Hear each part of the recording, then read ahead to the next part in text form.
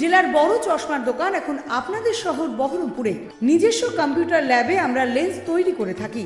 আমাদের ঠিকানা বহরমপুর সুশ্রুত আই হসপিটালের ঠিক পাশে রাস্তার ডান দিকে। এভারেস্ট অপটিক্যালে আপনাদের জানায় সাদর আমন্ত্রণ।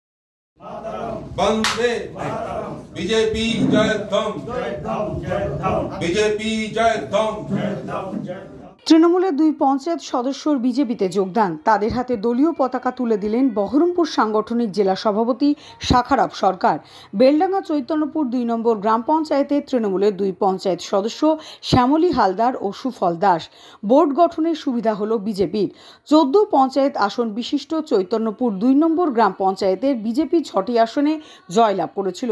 ভোট গঠনের ক্ষেত্রে আটজন পঞ্চায়েত সদস্যের প্রয়োজন ছিল।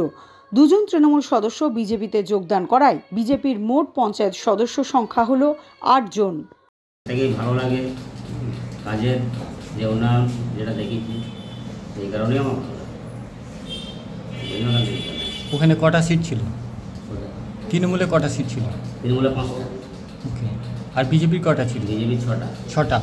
আর ষোলোটা সিটের মধ্যে চোদ্দোটা। চোদ্দোটা। তার মানে ছটা দুটো আটটা। মানে আপনারা পঞ্চায়েত গঠন করছেন, তাই তো? গ্রাম পঞ্চায়েতের মেম্বার, জয়ী প্রার্থী তৃণমূল কংগ্রেস থেকে জয়ী প্রার্থী দুজন মেম্বার আজ ভারতীয় জনতা পার্টিতে জয়েন করলেন। একজন হচ্ছেন শ্যামলী হালদার এবং আরেকজন সুফল দাস। দুজন মোদিজির কর্মকাণ্ডে।